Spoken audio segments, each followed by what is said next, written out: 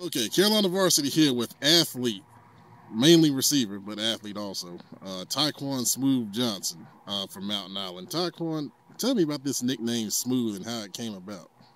Uh, it started off with my head coach at uh, West. He called me Smooth because I'm smooth on the field and all.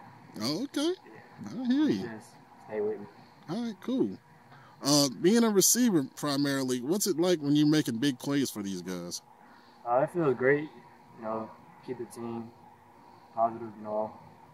Okay. And being a senior, what's going to be the key for leading these guys uh, deeper into the state playoffs and uh, competing for a championship? Uh, continue to make big plays.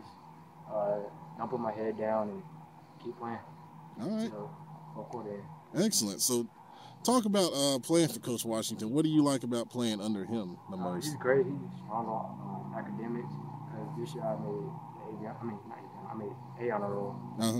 And uh, he's school first, then football. Excellent. He don't teach about football. He teach mainly about the book. and education first. Great. Now, being a senior, are you looking at playing on the next level? Yeah, I'm looking uh, playing college football. Okay. What schools are you interested in? Uh, I've been talking to some. I've been talking to Limestone, Newberry, uh, Hampton, and a few others. Okay. Does any anyone stick out to you right now? Uh, not right now. I'm undecided. Okay. Well, great. They, your coach told me you're a big play guy, so we're looking for more big plays out here in the playoffs and hope you guys win a state title out here. Thanks for the time. How about